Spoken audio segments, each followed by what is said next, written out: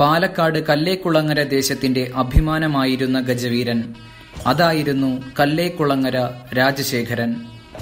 നാടനാനകളിൽ തന്നെ അഴകിൽ അക്കാലത്ത് മുൻപിലായിരുന്നു രാജശേഖരന്റെ സ്ഥാനം. കല്ലേക്കുളങ്ങര ഏമൂർ ഭഗവതി ദേവസ്വത്തിന്റെ കൈവശമുണ്ടായിരുന്ന മലമ്പുഴ അകമലവാരം ഒന്നാം പുഴക്കാട്ടിൽ നിന്നും ഏകദേശം അൻപത് വർഷങ്ങൾക്ക് മുൻപ് വാരിക്കുഴിയിൽ വീണ നാടനാനകളിൽ ആദ്യത്തേതാണ് രാജശേഖരൻ.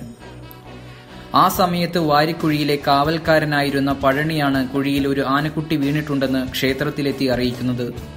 അന്നു തന്നെ ദേവസ്വം ബോർഡ് അംഗമായിരുന്ന ടി പി കേശവമേനോന്റെ നേതൃത്വത്തിലുള്ള സംഘം കുട്ടിക്കൊമ്പനെ കുഴിയിൽ നിന്നും കയറ്റി ക്ഷേത്രത്തിലേക്ക് കൊണ്ടുപോരുകയാണുണ്ടായത്. മൂന്ന് വയസ്സിനോടടുത്തായിരുന്നു അന്ന് കുട്ടിക്കൊമ്പന്റെ പ്രായം. കൂട്ടം തിരി വീണതിന്റെയും മനുഷ്യരുടെ ഇടയിലെത്തിയതിന്റെയുമെല്ലാം ഭയം അധികം വൈകാതെ അവനിൽ നിന്നും വിട്ടുമാറാൻ കാരണമായത് അന്നാട്ടിലെ ആളുകളുടെ സ്നേഹലാളനകൾ കൊണ്ടാണ്. ക്ഷേത്രത്തിലെത്തിയതുകൊണ്ട് തന്നെ ചട്ടം പഠിപ്പിക്കാനായി അധിക നാൾ കഴിയും മുൻപേ ഒരു ആനക്കാരനെ നിയമിച്ചു. ആണ്ടിമഠം നാരായണൻ നായരായിരുന്നു ആദ്യ പാപ്പാൻ പക്ഷേ രാജശേഖരനെ ഒരു എഴുന്നള്ളിപ്പ് ആനയാക്കി മാറ്റിയെടുക്കുന്നത് അവനെ ഏറ്റവും കൂടുതൽ കാലം കൊണ്ടു നടന്ന കടുക്കാം കുന്നത്തെ വേലു എന്ന ചട്ടക്കാരനായിരുന്നു.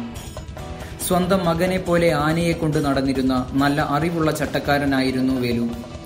തുടർന്ന് അയ്യപ്പൻ ദേവൻ മണി എന്നിവരും രാജശേഖരന്റെ പാപ്പാന്മാരായി കൂടുതൽ കാലം ജോലി ചെയ്തിട്ടുണ്ട്.